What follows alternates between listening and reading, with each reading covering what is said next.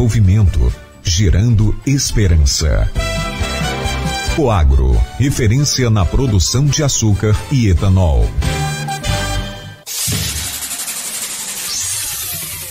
Começa agora o Folha no Ar, primeira edição.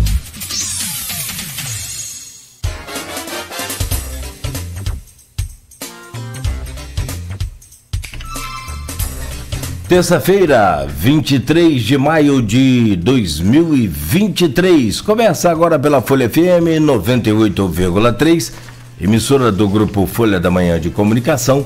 Mais um Folha no Ar, ao vivo pelo Face, pelo YouTube, pelo Instagram. Você pode acompanhar este programa também pela Twitch TV e daqui a pouco em podcast. Logo mais às 17 horas, reprise na Plena TV. 7 horas e 6 minutos em Campos. Muito bom dia, sejam todos bem-vindos. Vamos às principais informações do dia e a gente começa aqui com a previsão do tempo, segundo o Instituto Nacional de Meteorologia, tem possibilidade de chuva hoje a partir do meio-dia. O tempo fica parcialmente nublado a nublado com mínima de 18, máxima de 26, agora faz 20 graus em Campos. Com o Rodrigo Gonçalves na bancada hoje, vamos conversar com o Vinícius Viana, secretário executivo do Cidenf. Ele vem para falar do primeiro festival é, que aconteceu esse final de semana agora, Caminhos do Açúcar, em São Fidélis, e que naturalmente vai percorrer pelos é, 22 municípios das regiões norte e noroeste, é claro, à medida que todos os municípios estiverem aí já cadastrados e fazendo parte do CIDENF, vamos falar também sobre um, um balanço com esses encontros já feitos este ano, neste ano, né? Com o SIDENF, Estado do Rio e também com a União. E por fim, a gente fala sobre as parcerias com o Fundenor, Pesagro, Emater Rio e também com o CISDAF. Essas são algumas é, pautas para hoje, para a gente conversar aqui com o Vinícius. Vinícius, já já vou trazer o seu bom dia. Rapidamente, uma passada aqui pelo portal folha1.com.br para a gente atualizar aí a todos que estão ligados aqui na Folha FM. O oferecimento de Proteus, serviços de saúde e medicina ocupacional, qualidade certificada ISO 9001 2015 Unimed Campus, cuidar de você. Esse é o plano. Laboratório Plínio Bacelar e vacina Plínio Bacelar, cuidando bem de tudo que te faz bem. Olha, no portal folha1.com.br você confere hoje em destaque: gripe aviária em São João da Barra. Quatro pessoas apresentam sintomas respiratórios, ou seja, são suspeitos de terem a gripe. Tem muita gente falando, ah, porque já tem quatro pessoas com gripe. Já tem, calma, com a gripe aviária. Não, só segura aí um bocadinho a, a informação na hora de repassar aí no, nos grupos, para você não, não trocar os pés pelas mãos. Esses quatro casos, inclusive o Rodrigo comenta já já, é, são, tem sintomas parecidos com a da gripe aviária, que é o N5, H5N1, é o, o, a identificação do vírus, e essas pessoas tiveram contato com a ave. E as amostras foram enviadas segunda-feira para a Fiocruz. A ave contaminada foi encontrada em São João da Barra no final de semana. Ministério declara emergência zoossanitária devido à gripe aviária. O ato publicado na edição extra do Diário Oficial de segunda-feira vale por 180 dias. Operação Lei Seca flagra 70 motoristas dirigindo embriagados em campos. Isso pode ser um, um sintoma daqueles inúmeros acidentes nos fins de semana. Pode ser. Tiroteio após assalto termina com um bandido morto e PM baleado. PM reforça policiamento no Sapo 3, em Guarulhos, após duplo homicídio. Trio é preso por suspeita de aplicar golpe do falso Pix em shopping de Macaé. Patrulhamento e palestras do Ronda Escolar continuam em Campos. São Francisco lança Refis 2023 com descontos de até 100% em juros e também nos débitos. Sindicato do Vestuário realiza evento sobre tendência de moda. É hoje, né, dia 23, com o evento será na sede da Firjan. Butantan começa a desenvolver vacina contra a gripe aviária. São João da Barra obtém decisão no STJ para pôr servidores em regime estatutário. Campos divulga novo calendário de pagamento dos servidores. Salário de maio será efetuado no dia 31 e a primeira parcela do 13º é, também no salário de junho. Salário de maio, 31 de maio. A primeira parcela do 13º no salário de junho que não foi divulgada a data do salário de junho. Mas é dentro do mês trabalhado, como era antigamente o Rodrigo acaba de, de passar aqui para gente. Liberação de parte da 15 de novembro está prevista para agora, 8 horas da manhã. Nós estamos tipo Santo Tomé, só vendo para crer. Mas a gente está acompanhando aqui, o IMTT divulgou uma nota, vai ser liberada uma pista agora, 8 horas da manhã, no sentido pecuária centro. Até o final do programa Claro, a gente confirma essa informação.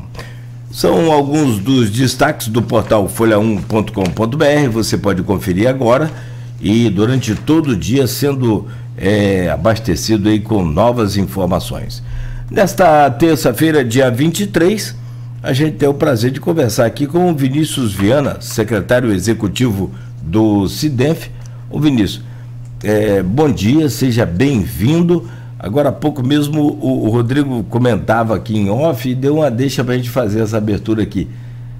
Da última vez que você esteve aqui, cheio de projetos, cheio de ideias, e hoje me parece que você já vem com parte desses projetos e ideias já sendo entregues aí à, à população do norte e também do noroeste fluminense. Bom dia, bem-vindo, Rodrigo. Bom dia, bom dia aos ouvintes da Folha no Ar. A gente Bom dia, Cláudio. Bom dia, Rodrigo. Vou dar aqui um abraço especial para o meu amigo Luizinho. E é isso, Cláudio. A gente hoje tem uns cinco meses que nós tivemos aqui ainda esse ano e muitas novidades, muitos projetos em execução. Então, a gente tem que bater um bate-papo legal e, e, mostrar todo o, tudo que o CIDENF vem fazendo aqui para a nossa região norte e noroeste fluminense. Não tenha dúvida. Vamos até às nove horas aqui, explorando aí a sua boa vontade de estar conosco aqui. Meu caro Rodrigo Gonçalves, é, titular dessa bancada, conosco hoje também. Ô, ô, Rodrigo, vou trazer o seu bom dia e, naturalmente, já te pedi para comentar sobre alguns assuntos aqui que a gente falou, principalmente sobre a questão da, da gripe aviária e em São João da Barra. A ave parece que é um, uma ave litorânea, né? Então, é, é mais fácil acessar essa árvore aí, essa ave as pessoas que estão. No, e me, pelo que me parece, são aquelas que estão mais caidinhas, estão com a gripe, né? E talvez por isso estejam ali também mais é, é, caidinha num cantinho e as pessoas acabam fazendo contato com essa, com essa ave. E, e é bom ressaltar que são pessoas que estão com é, a gripe, mas com suspeita da gripe aviária. Não tem ninguém confirmado ainda Aliás, me parece que no Brasil não tem nenhum caso confirmado, graças a Deus. Rodrigo, bom dia, bem-vindo. Bom dia, Cláudio. Bom dia a todos os ouvintes em 98,3. Você que acompanha a gente também pelas redes sociais. É sempre um prazer receber você aqui com a gente todas as manhãs, sempre trazendo a notícia. Agradecer a você que está aí passando aqui também pelas rodovias da nossa região, BR-101, BR-356, sintonizou em 98,3 fica com a gente, que é sempre um prazer aí estar tá informando, levando as principais notícias para você. Agradecer especial ao Vinícius por estar tá aqui com a gente mais uma vez, como você já adiantou, Cláudio, né? Há cinco meses o Vinícius esteve aqui, foi um dos últimos programas de 2022. Ele esteve aqui no dia 29 de dezembro, foi um dos meus primeiros programas, inclusive, inclusive onde o Vinícius já trazia algumas iniciativas do Sindef que já trazia resultados, né? E falava desse projeto grandioso que é o, o, a, o Caminhos do Açúcar, né? Trazendo toda a potencialidade turística da nossa região.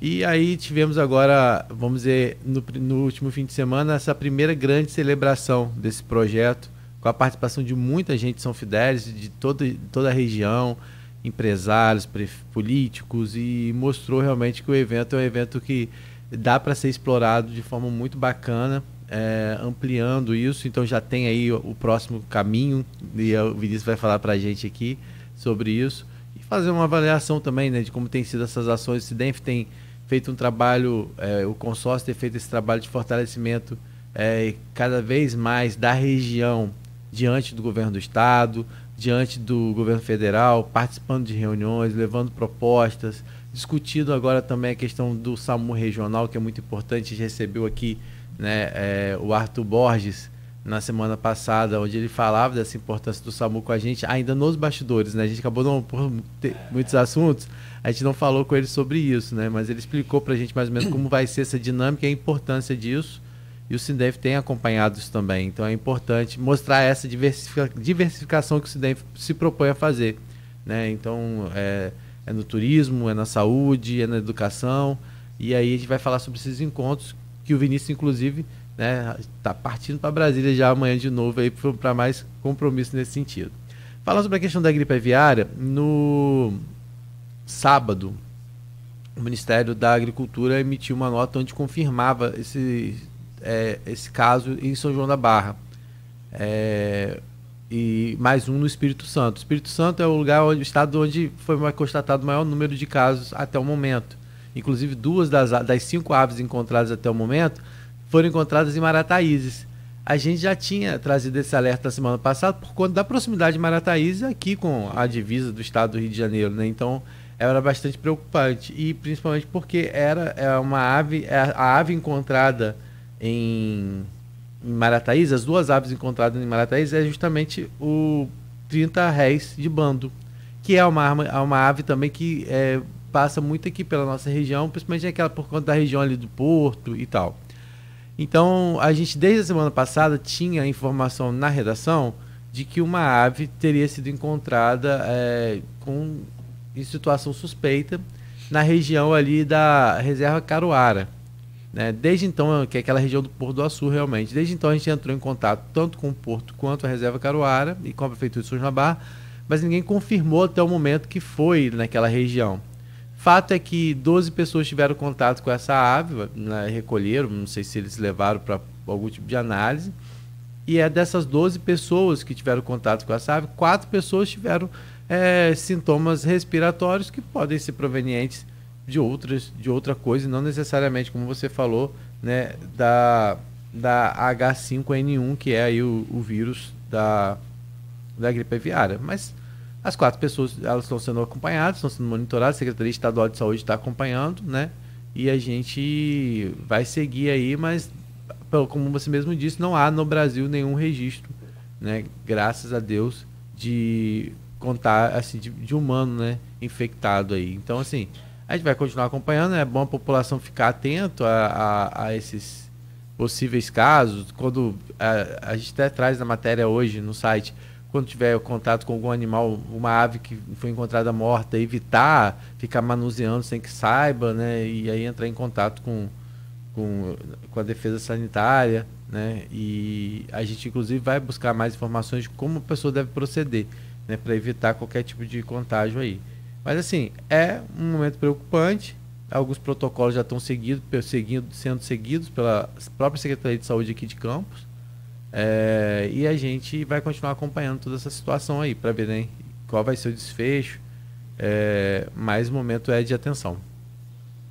Tem, eu estou pesquisando aqui os sintomas da, da gripe e aí você tem que somar todos, tá? Tem que ter todos. Não adianta ter um só, senão fica complicado. Dor de garganta, febre acima de 38 graus, dor no corpo, mal-estar geral, calafrios, fraqueza, dor abdominal, tosse seca, espirros e secreção nasal. Que esse conjunto de sintomas pode ser que seja, pode, mesmo assim, isso ainda pode ser que seja a H5N1, que é a gripe aviária.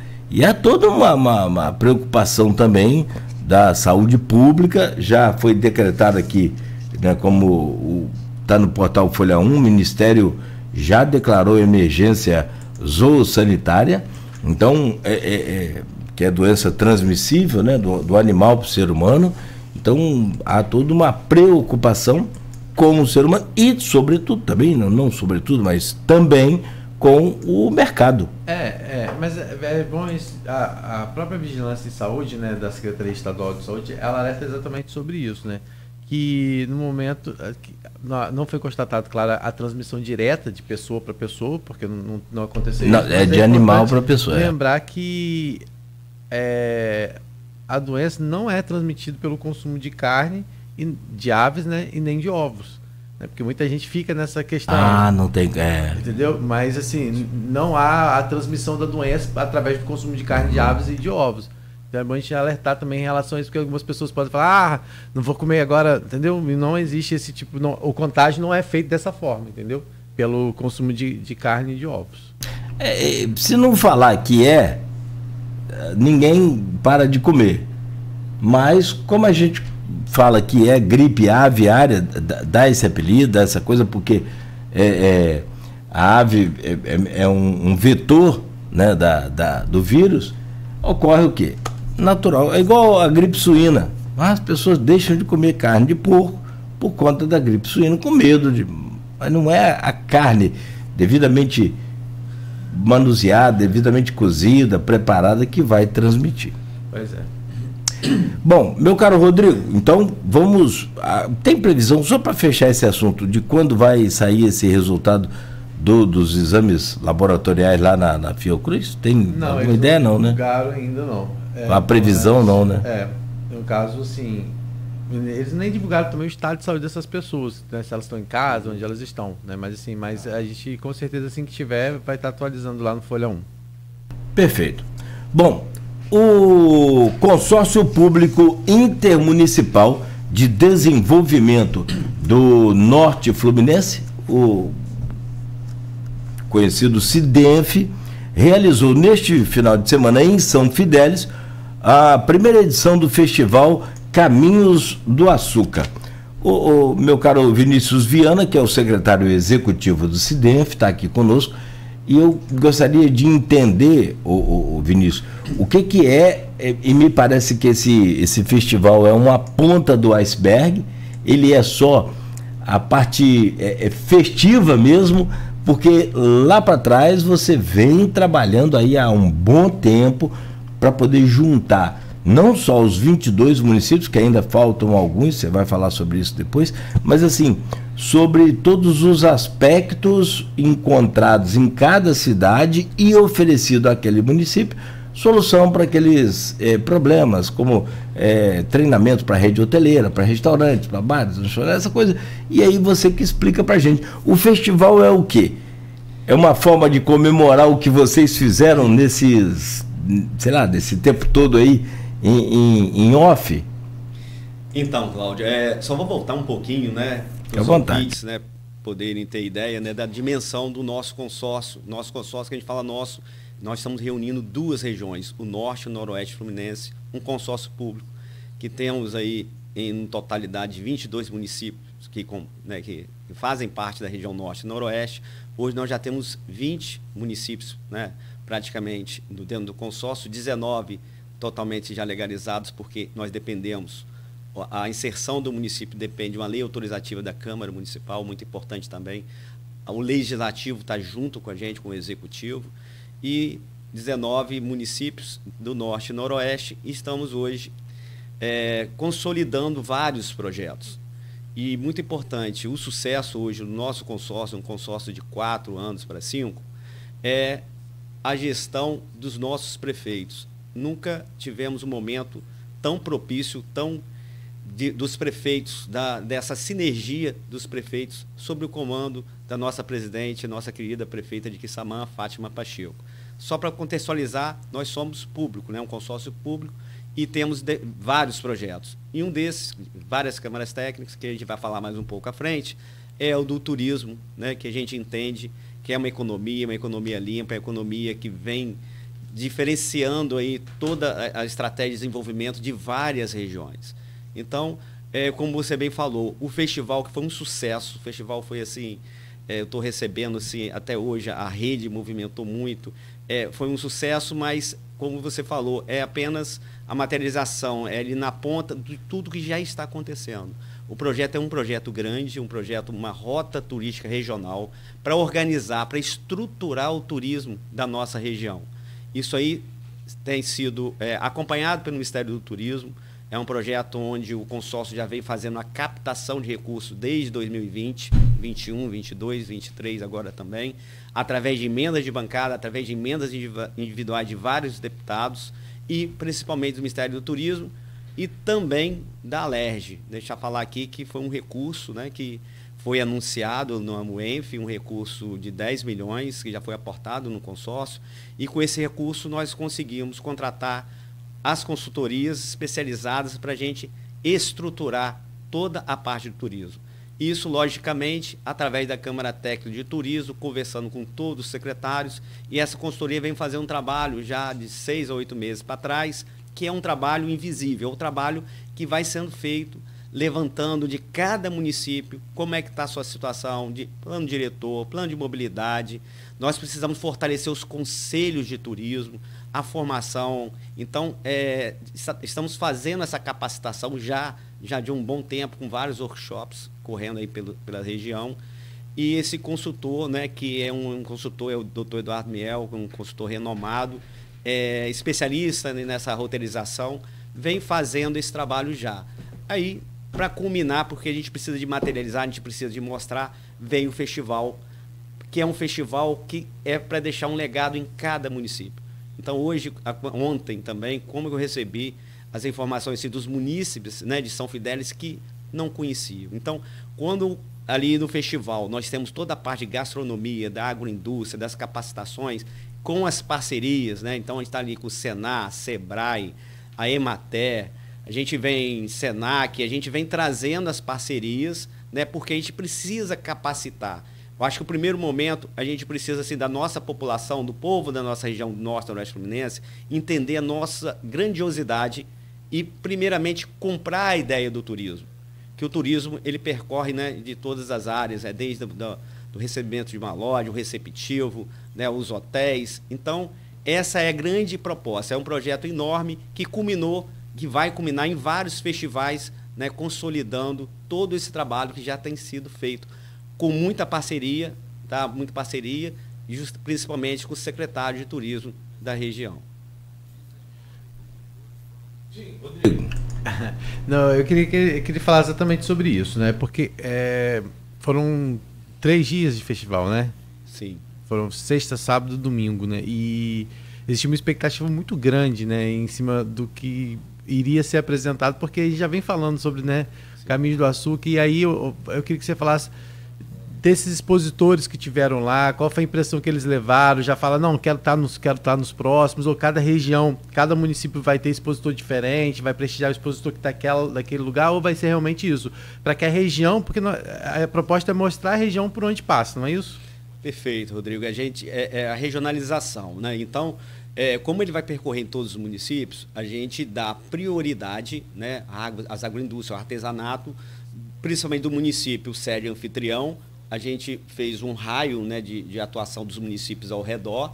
Então a gente vai fazendo a prioridade para essa região e depois vai haver um rodízio, né, logicamente, né, para cada região, da parte da agroindústria, do artesanato, dos restaurantes.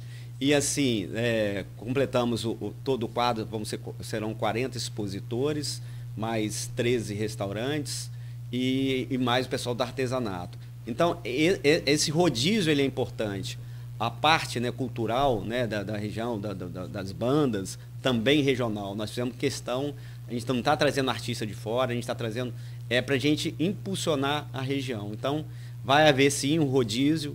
É, todos que estão lá já estão assim doidos para voltar. Só para vocês terem ideia, no primeiro dia, é, praticamente é, as, a, a, a agroindústria e os restaurantes levaram é, material para três dias, foi consumido no primeiro dia. Tiveram que voltar para reabastecer. Então, foi um movimento sim realmente muito interessante e a qualidade do evento, que isso importou muito é que a gente precisa trazer qualidade. A gente, é, essa é a proposta, trazer qualidade para a gente, porque isso é uma disputa, o turismo aqui, ele vai disputar com regiões Sim. consolidadas como Búzios, como Paraty. Então nós precisamos de ter realmente qualidade. É, o Matheus Berriel, que é lá de São Fidélis, esteve lá participando do, do, do festival, ele falou assim, a primeira edição do Festival Caminhos do Açúcar em São Fidélis foi um sucesso com ótimo público, grandes atrações musicais e bons preços nos estandes. É, já está definido o calendário, o cronograma dos próximos, das próximas cidades que vão receber o evento? Então, é, estamos definindo o primeiro, né? Já foi. Ele vai acontecer dentro de um prazo de 40 a 50 dias de um para o outro, para poder dar o trabalho, porque, como eu te falei, quando antes São Fidélis, trabalho tem sido feito há uns 60 dias. Sim. Então a gente está acabando de montar o cronograma, provavelmente o próximo é em Miracema. Mas, mas ele vai tá acontecer definido. em todos os municípios? Não, ele vai ser regionalizado. É, ele, ideia... ele, a princípio, é, ele, ele, é regionalizado, mas a ideia é de que, que, com o tempo, dentro de um prazo de dois anos, que a gente consiga percorrer todos os municípios. Ah, que bacana. Então, mais de 20 municípios aí. Exatamente. É, aí, então, você acredita que Miracema deve acontecer então dentro de 60 dentro dias? De, de uns 40 dias. 40 dias. Isso. Esse é o prazo, né? Que, do intervalo que a gente precisa para preparar. É, voltando a falar, Rodrigo, é, São Fidélis nesse trabalho, né? E agradecer aqui muito a equipe de São Fidélis, os secretários, porque você envolve todas as secretarias quando você faz um evento desse. E principalmente, que é o mais importante, que faz gerar o turismo, que são os guias locais. Então foi feito um trabalho com os guias esse guiamento que a gente chama de contraturno do evento. Né? Então, na sexta-feira já começou a acontecer aqui o City Tours, os Walk Tours. Então, foi feito é, um, um, um, trabalho de um City Tour de, de organizar. Isso não vai parar mais. Isso já está organizado. Nós conseguimos organizar junto com os guias. Então, são passeios magníficos. Ah, o passeio até a usina de pureza, onde vai estar tá sendo construído um museu do açúcar, da iniciativa privada, um museu da música. Então a gente, o City Tour foi lá, levou, mostrou, aí tem uma capela maravilhosa, é, a, a, pureza, né? O, o, distrito ali tem um, um, potencial enorme, os casarios. Eu né? não conheço, por exemplo. Muito interessante. E as pessoas, vieram gente de pessoas de fora, pessoas do Rio, pessoas de Friburgo. Então, isso já está acontecendo e vai continuar. E essa capacitação se deve entra agora com os parceiros. A gente precisa muito melhorar o serviço a parte hoteleira, a parte, né? É, de uma é. forma geral, isso é natural, né? Que os municípios, a, a, a ponta ainda não esteja preparada e é esse é, o, é a grande o norte, o grande mote do, do CIDENF. É uhum. organizar, vai levar junto com os secretários. É um trabalho em conjunto. Entendi. Então, por exemplo, em São Fidélis, vocês aproveitaram esse evento também para identificar possíveis coisas que precisam ainda ser trabalhadas para melhorar esse atendimento lá. Né? Ou seja, vocês viram, por exemplo, ah, o Tour foi uma coisa que deu certo, vamos explorar. Rede hoteleira, o que, que precisa melhorar? Aí vocês vão trabalhar essa, essas potencialidades, mas também essas dificuldades a, a, partir do que é identificado, é isso? Perfeitamente, é exatamente isso. É, é, é preparar né, o ambiente para que seja um ambiente favorável que ocorra o turismo. Potencial, toda região tem. É, transformar o potencial, a gente não precisa nem de levantar. Nós estamos trabalhando com a metodologia é, de, de, de, simplificar. Não adianta a gente ficar gastando um tempo enorme e aí pô, vem faz um, um, um trabalho de quais potenciais que tem e tal, aquele, que é interessante, inventário uhum, e tal. Uhum. Não, a gente já está indo justamente na veia, que é onde que acontece, juntamente, a gente precisa que a rede, o trade turístico esteja preparado, então a gente precisa de qualificá-lo. É como se fosse trocar a, a roda com o carro rodando. Não tem como você parar, porque senão você não. Se você ficar muito nessa parte de teoria, teoria, na prática isso às vezes não é aplicado da forma né, como se, se, se espera. Então acho que assim, acho que é uma iniciativa muito bacana. Agora, é, e São Fidélis, né? Você falou de pureza, que eu não conheço, por exemplo, mas eu sei é, de cachoeiras que tem ali, a parte de, da natureza é muito bacana. Né? Gente, aquela Serra vista... do Sapateiro, é, nós a... temos Tacolomi, é, Rio do Colégio. É, sim, aquela vista, só aquela vista na, na, na estrada ali, indo para São Fidélis, de Campos para São Fidélis, é um dos lugares mais bonitos que a gente tem, né? Olha, no sábado e no domingo foram feitos passeios de barco ali em São Fidélis. Todos que fizeram ficaram encantados, tem vários vídeos. Esses passeios, eles saem, aí você, é, aí é onde a gente tem capacitar né, os canoeiros, né? O passeio vai três, quatro pessoas em cada barco, barcos pequenos então, é tudo uma questão né, que a gente tem que fazer da logística, da segurança. Mas encantado fazer um passeio saindo ali perto da ponte de ferro, que é uma outra, uhum. é um outro atrativo de São Fidélis. O passeio na região, naquele rio maravilhoso, é uma coisa assim indescritível. Aqui, você já pensa, o Rodrigo está falando do trajeto daqui, pela 158 já é bonito. Né? Você vai na, na a margem do rio, Paraíba do Sul, e vai se deliciando com aquele visual, principalmente depois, acho que depois de Santa Cruz, já, acho que Ernesto Machado. Da, é, e Ernesto Machado já começa a subir. Bem, né? é, já, é, então. Mas, hein, você já pensou? Porque não sei se você consegue observar ali. Entre o Rio e a RJ tem uma ferrovia sim, desativada. Já pensou se reativa aquilo ali? Há muita gente que, não sei, se pode ter sei lá quanto tempo tem, mas agora não sei precisar. É, já fizeram estudo. Tem, tem gente viva que já andou é. de trem ali. Não, eu já fui duas vezes quando criança. Era excursão de Campos é. para São Fidélis. Eu fui duas vezes. É a coisa mais linda do mundo. Lembro, novo na Ai, época. que maravilha. 10, que beleza.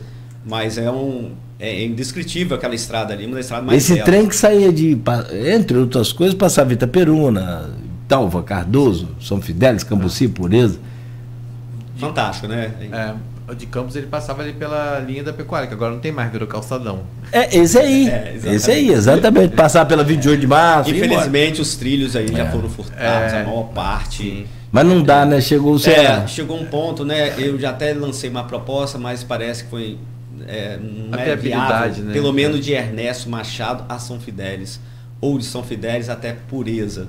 Mas assim, é um projeto muito caro. É. Mas tudo ser estudado. Que Outro fator que a gente tem preparado é. Eu tô com duas locomotivas aqui à venda. Se quiser, negocia. É, tô, tô, brincando, mas quem teve aqui confirmou. Tito tem. É São duas. Ele falou, o Tito falou também dessa relação é. que ele também tem com o Cidemp também, né? Ele citou aqui na entrevista que ele deu. É, ele é Tito Inojosa, Tito presidente. Inojosa, grande parceiro do Cidemp, Tito Inojosa. Vinícius, ainda falando sobre essa questão do turismo, né? O evento, é, claro, foi né, organizado por vocês, mas foi o que você falou, sem parceria ele não era possível. Vocês tiveram muitos parceiros, né? Assim, pessoas tanto da, tanto da parte da iniciativa pública quanto da iniciativa privada, né? Perfeito. Assim, é... parceria privada é muito importante para a realização de eventos como esse. É importante e, e, a gente vem um pouquinho antes dos eventos. Nós estamos preparando os municípios, né? É, esse trabalho que a gente fala que é um trabalho silencioso, a gente está levantando todos os locais de interesse turístico do município validado depois, os prefeitos vão validando, né, junto com seus secretários, porque a gente precisa trazer o investimento. Quando a gente fala de um projeto desse tamanho, da linha férrea, a gente precisa da iniciativa privada. Uhum. Quem faz rodar, quem faz acontecer o turismo em todos os lugares né, do, do mundo é a iniciativa privada.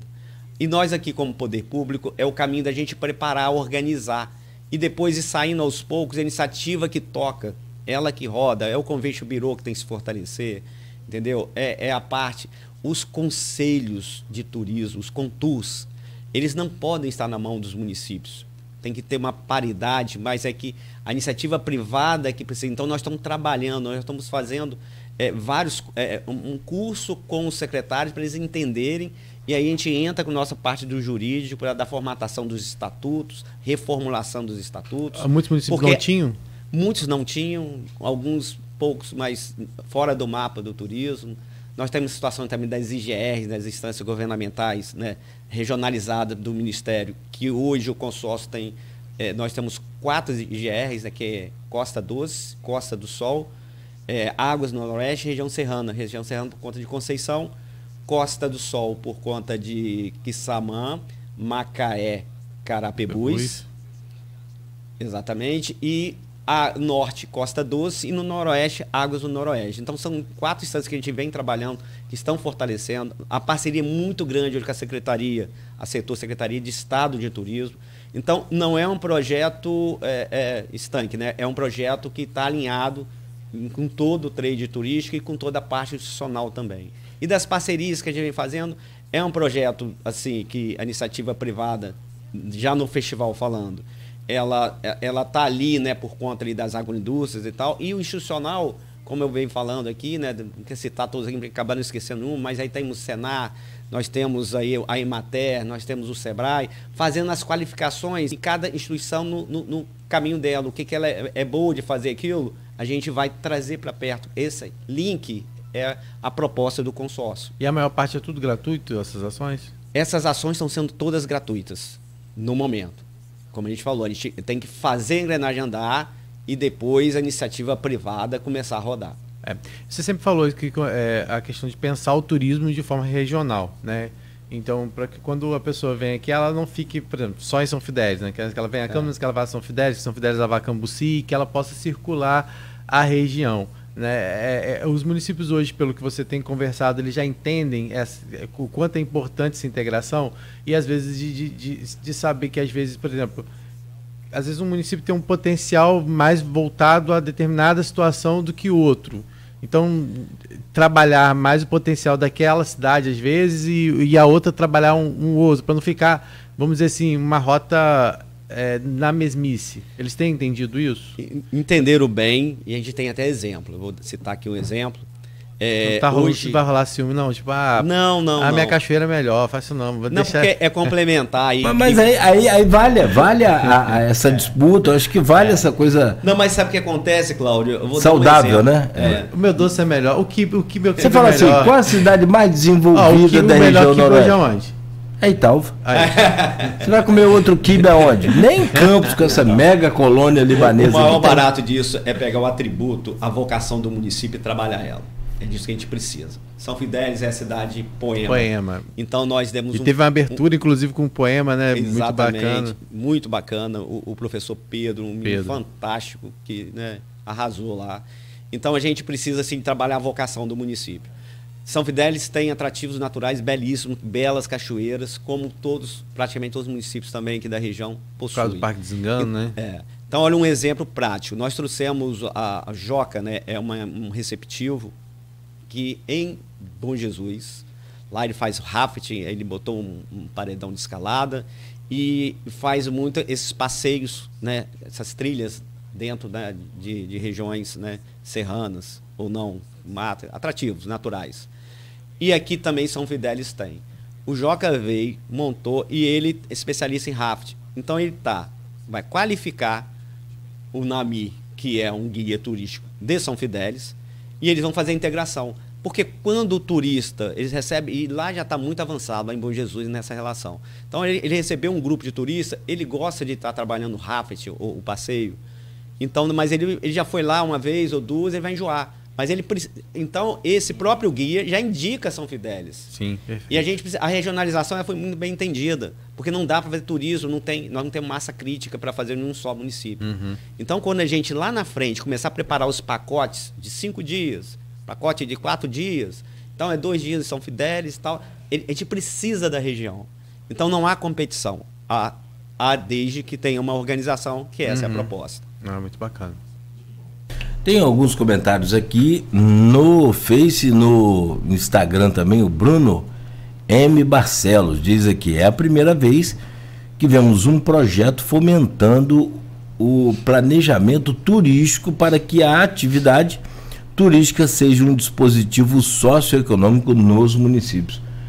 Porque essa potencialidade que a gente tem, ela fica inerte aí e, e, e, falta, tipo assim, o polo negativo para juntar o polo positivo, que senão, né, não, senão não atrai, não adianta. E a gente precisa ter essa força. Aí você diz, como as cachoeiras aqui do Imbé. Poxa, Maravilhosa. Agora você vê, a, o nosso ponto turístico de verão na cidade, na cidade que não envolva é, parque aquático ou qualquer coisa assim, como Lagoa de Cima, como Farol, como é, outras lagoas, é, a Lagoa Feia, claro, evidente, é o Morro do Itaoca, que durante o período de janeiro e fevereiro, que é o período de férias escolares e que tem o maior fluxo, você pode trazer seus parentes sem dificuldade aqui para Campos, por exemplo, ficou fechado porque correu uma barreira. E fechou, botou um plástico preto lá e vamos embora. Está fechado. Foi a solução que a, encontraram para o Morro do Itaú. E que está fechado até hoje. Quer dizer, aí não só planejamento para uma, uma, estratégia de emergência dessa, como também faltou um, um pouco de, de é. sei lá, de boa vontade, um pouco de, de cobrança também nossa, da própria população, no sentido de resolver o problema. Porque tudo que você mais quer no verão, para quem pratica determinado esporte, no caso, né, o voo livre, tantos outros como é o caso ali, ou até mesmo para apreciar ali a, a, as belezas daquele visual lá do alto do morro, é o verão, que tem a visibilidade maior, melhor, né, sem chuva, sem nuvens, enfim. É, o, o Cláudio, a gente enxerga e sabe das dificuldades, às vezes, né, dos municípios. É, a gente está assim, muito parceria com o secretário, né? O, a Patrícia Cordeiro, a gente já vinha falando, a gente conversando, a auxiliadora da parte da cultura. Estou falando aqui de Campos, que a gente está em Campos, uhum. para entender um pouco. E agora nós temos o Hans, que tem um menino que está vindo aí com muita força, a parceria. Nós estamos muito alinhados também. E a gente precisa de começar a entender em que ponto a gente consegue virar a chave de alguns equipamentos que possam ser tocados por iniciativa privada, as PPPs que a gente fala. Então, provavelmente, né, existe ali uma APA, tem a situação de manejo, mas provavelmente quando a gente tem um equipamento que ele está com a iniciativa privada, não acontece isso, porque o município, a prefeitura, ele, é, ela tem muitos afazeres, é saúde. É... Então, a gente enxerga que as PPPs elas precisam acontecer. E nós estamos preparando para isso. Que os equipamentos, mesmo que sejam públicos, que possam ser concedidos, que possam ter uma exploração, que uma forma que o município ganhe, através uhum. de outorga, através e principalmente a população ganhe com uma boa manutenção, com um bom desempenho desses equipamentos. Isso acho muito importante para que a gente avance mais com, com, todo esse potencial que nós já sabemos que nós temos. É. A gente sabe que a região do, do Imbé também tem problemas com estradas e é isso existe a proposta, inclusive, de recuperação de estradas, de pontes, tudo isso está sendo pensado. Né, e vai, vai contribuir bastante para o turismo. Só que é, às vezes a gente esbarra na burocracia, como está, por exemplo, agora essas mais de 40 pontes que estão para ser licitadas e que até agora não conseguiu sair do papel, apesar de já existir o recurso né, disponibilizado para a recuperação delas. Então, assim, é, o, o morro do, do Itaoca, é, pelo que a gente ficou, tomou conhecimento, precisava de um, de, um, de um estudo mais detalhado, até de um geólogo, para saber né, se não haveria mais gravidade. E aí, desde então, realmente acabou tendo esse atraso né, no, no, fechamento lá daquela, daquela região. Agora, Vinícius, é, a gente tem outros comentários também. Tem mais comentários aí, Cláudio? Pergunta aqui para fechar, se você não tiver mais nenhuma aí. Não, aqui só tem aqui no grupo opiniões lá do, do blog do Aloysio, né, e também aqui do Folha no Ar. É só o João Siqueira, que teve com a gente ontem, parabenizando o Vinícius. Uhum. É, excelente iniciativa, parabéns pela organização. É, e a Silvana Venâncio, que é jornalista lá de Bom Jesus, Jesus né, é. que foi citado agora há pouco aqui pelo Vinícius lá, o município de Bom Jesus, que tem uma das regiões mais bonitas também lá e que é um, uma sensação que é Rosal, eu também não Rosal, conheço. Festival de Rosal, Já ouvi falar também, não, mas não conheço. Né, eu, é Edinalda, que é a professora Edinalda que está também no grupo. Sim. Ela frequenta Rosal há muito tempo, acho que ela, se não me engano, tem casa lá. Um abraço a Edinalda, eu sei quanto que ela ama aquele lugar e e eu não conhecia e vi já algumas fotos de, de, de trilhas que já acontecem lá, passeios que acontecem lá. O festival, acho que é, é, é da Sanfona que acontece lá? É, de Chorinho e Sanfona. Ah. Maravilhoso. O, o através do Caminho do Açúcar, ano passado também já contribuiu. Fizemos uma amostra de café, botamos o turismo guiado. Começou lá em Bom Jesus, no Festival de Rosal, com esse pessoal do Joca, né?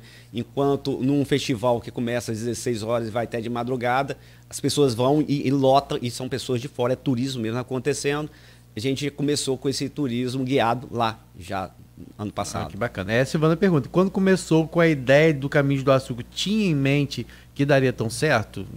Ela é uma pergunta que ela faz. É, é tudo é um desafio, né? É um desafio, mas eu acho que sim, o consórcio Cidenf tem uma equipe muito bem preparada. Eu aqui acho assim, é uma, uma, equipe comprometida.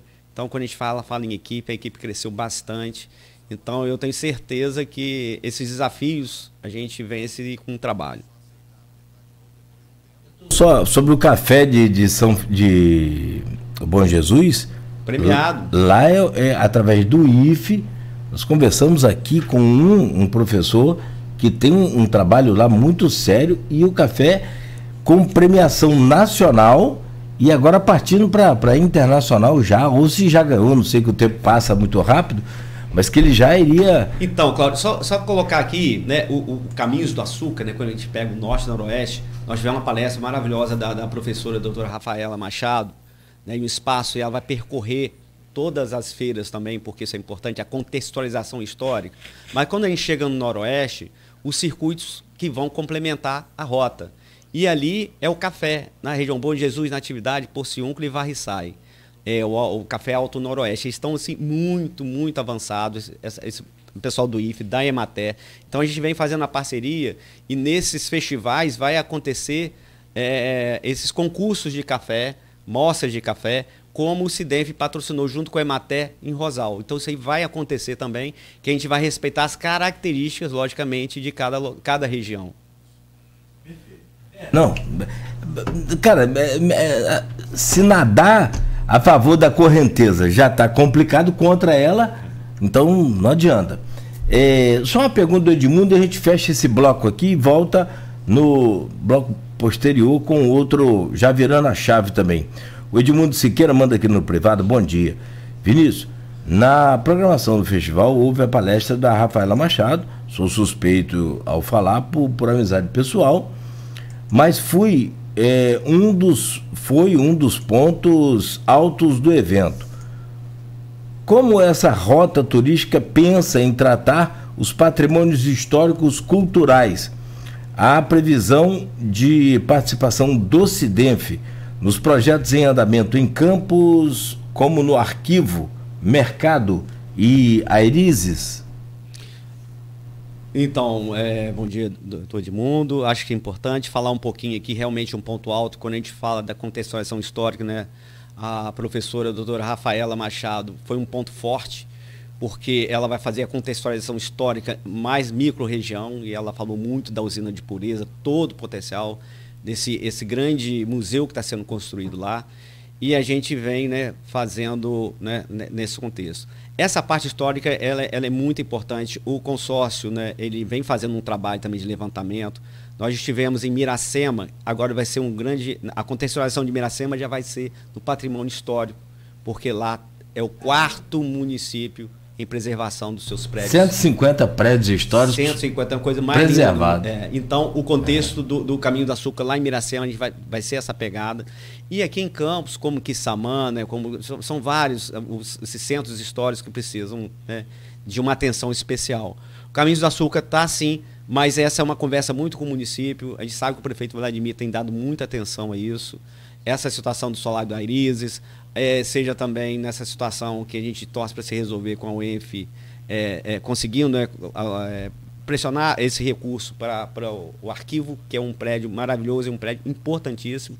Mas isso tudo a gente é sempre demandado em conjunto, respeitando é, o município, né, que, que precisa né, de tomar frente disso, mas vai ter todo o apoio e quem valida o que vai entrar na rota é o próprio município.